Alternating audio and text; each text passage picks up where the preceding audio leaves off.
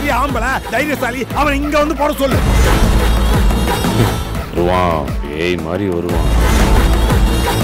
இறங்கி செய்வான். வேணாம் மேடம். இவங்களுக்கு என்ன தண்டனை கொடுக்கலாம்? எனக்கு ஒரு யோசனை தோணுது. என்ன? நீங்க அந்த வீட்ல யாழ்னி பக்கத்துல கூட போகவே கூடாது. ஹலோ இனியா? என்ன பண்ணிட்டு இருக்க? உன் குழந்தைய பத்தி தான் பேசிட்டு இருக்கோம். இனியா நாளை இரவு பத்து மணிக்கு உங்கள் சன் டிவியில்.